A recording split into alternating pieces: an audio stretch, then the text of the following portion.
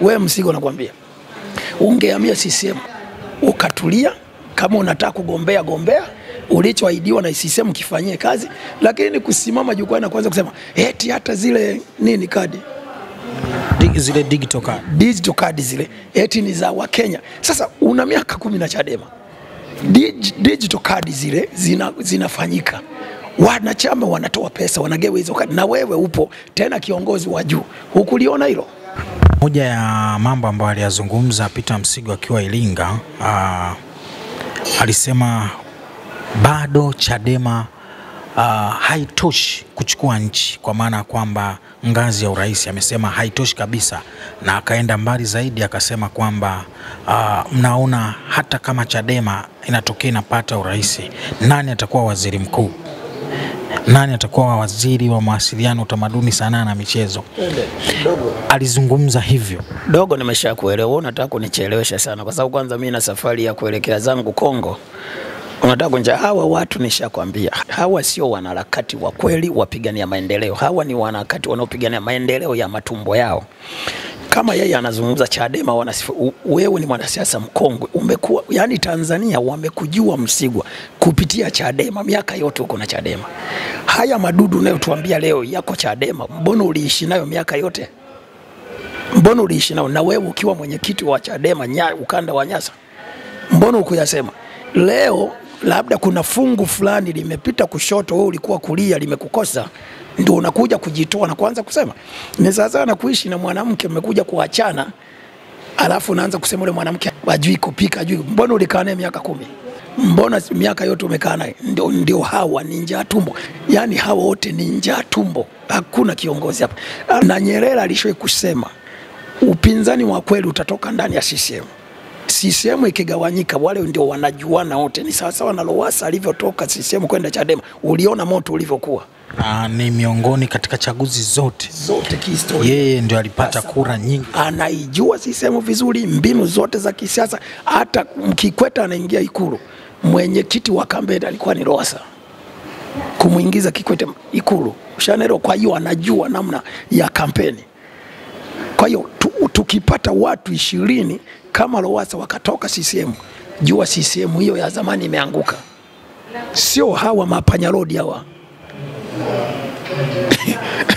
Sasa unakuta una ofisi ya Chadema hapa kwenye ka frame of, frame inayofuata mama ntilie, chama akina fedha, mnazurumiana nyinyi kwa nyinyi, ni maombaomba huko Ulaya. Kwa hiyo hawa wote wanaburuzwa na njaa. Ni sawasawa na kipindi kile Mlema mara NCCR Mageuzi katoka kule kavuruga kaingia TLP, TLP kavuruga hivyo. Kwa hiyo ndio hawa, mimi sikubaliane na yeye. Kwa hiyo kaja CCM huku CCM ni taasisi kubwa, ni taasisi kubwa, kubwa. Ungehamia CCM ukatulia, kama unataka kugombea gombea, ulichoahidiwa na CCM kifanyie kazi, lakini kusimama jukwani na kuanza kusema eti hata zile nini kadi zile digital card. digital card zile. Eti ni za Wakenya. Sasa una miaka kumi na Chadema, Dig, digital card zile zina, zinafanyika. Wanachama wanatoa pesa wanagewa hizo kadi, na wewe upo tena kiongozi wa juu, hukuliona hilo? Aliliona Tanzania hii unaruhusiwa kufungua kesi ya mtu binafsi, yaani kama yeye ana uwezo wa kwenda mahakamani kufungua kesi na wanasheria kuishtaki Chadema kwa huo, kwa huo mradi yeye binafsi. Mbona miaka yote umeshindwa kutafuta wanasheria mkaishtaki Chadema? Mbona ulikaa na Chadema? Na wewe hizo hela za digital card ulikula pesa ambazo za wizi zilizo ndani ya Chadema sijui na nini, ambazo mtu akitaka kugombea ubunge lazima utoe milioni mia tatu. Mnakulaga nyinyi wa juu, na ndio maana nakwambia politics in this country is a big business, na hii biashara inasababisha uchumi kuanzia chini uwe mbovu, kwa sababu mtu anataka kugombea kugombea. Mimi sasa hivi niseme nataka nigombee jimbo, jimbo, jimbo langu Ushanelewa? Eti niende kwa mwenyekiti, viongozi wa juu wa chama, nikajitambulishe kule. Nikijitambulisha kule, kuna watu wataniambia toa milioni mia tatu ndio jina lako tupitishe. Na ndio maana taifa hili limekosa watu wenye uweledi wa uongozi, kwa sababu hawana pesa. Yaliyo na pesa ndio sasa hivi yanachukua uongozi. Yaani sasa hivi ukichimba hata madini ukawa tajiri tu, ukafanya cho ukawa tajiri, wanasiasa wote wanashinda geteni kwako. Kama machawa. Yaani ndio maana siasa imekuwa ni uchawa, yaani kwamba wewe raia mpiga kura unasema yule pale ni mheshimiwa, kumbe naye ana mheshimiwa wake mwenye pesa. Kwa ajili ya kumkopesha pesa kwa ajili ya kampeni, na ndio maana wanasiasa wana madeni. Hatuwezi kuwa na viongozi wa bunge wenye madeni lukuki. Huyu hawezi kulipa deni la mpiga kula analipa marejesho kwenye mali alizokopa, maloli mabasi, mahoteli hawezi kutumikia wananchi, na ndio maana unakuta hata hata zahanati hazina huduma bora, hakuna hata umeme wa, wa sola, hakuna visima mashuleni, hakuna visima majimboni, hakuna kitu. Shule hazina vyoo, wanasubiri mpaka mama Samia akajenge. Wewe Mungu nafa, una madeni utosi mpaka unyayo. So haya mambo kwenye siasa, kwenye hivi vyama vyetu ndio yapo, ili kugewa nafasi ya kugombea utumie pesa yako Ushaelewa vizuri. Kwa hiyo na yeye kawa mshiriki wa dhambi zote za Chadema. Sawa, na kuna jambo pia nilingependa uweke walau neno lako tu. Alizungumza pia kuhusiana na inapofanyika mikutano ya Chadema, kama kipindi fulani tulishuhudia walikuwa na operation, walikuwa na operation plus 255 katiba mpya okoa bandari zetu. Kwa wakati ule ah, Mbowe alikuwa akiruka na helikopta, lakini Tundu Lissu alikuwa akitembea kwa gari. Sasa alichokisema Msigwa kwamba ah, ni namna ambavyo uh, ni namna ambavyo Freeman Aikaeli Mbowe amekuwa kikihujumu chama hicho. Kwa hii kauli aliyoitoa unaizungumziaje Konke Master?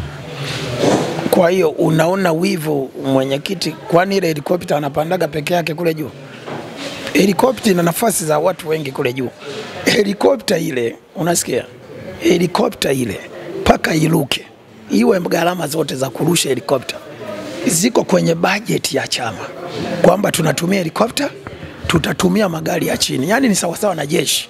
Linapigana vita. Kuna wanajeshi wa nchi kavu na wanajeshi. Shanaelewa vita yoyote ile. So na kampeni, mnapotumia helikopta, helikopta maana yake mkienda mikoani huko watu hawajai kuona nini? Ndege, wakiona imezunguka tu pale watu wanakimbilia. Shana. Kwa hiyo ile ni moja ya nini? Ya PR ya promotion, ili kukusanya watu, ni kivutio cha kufanya nini, kukusanya watu vijijini ili waje kwenye mkutano, na ndio hicho ninachokuambia kwamba mkutano unaweza ukawa unafanyika Kawe wa chama. Lakini wanachama wote wa kile chama kutoka Temeke wako wapi?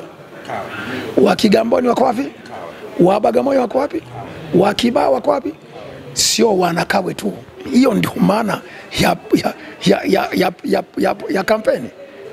Sifa kubwa ni kukusanya watu, na ndio maana wanakodiwa mabasi makosta, watu wanatoa, matajiri wanatoa mabasi. Mimi nitatoa mabasi kumi, watu wa, wasafirishwe kula na kunywa ili waje kwenye mkutano. So na, na, na Chadema, unajua mimi napendaga tu kweli, Chadema kutumia helikopta ni moja ya promotion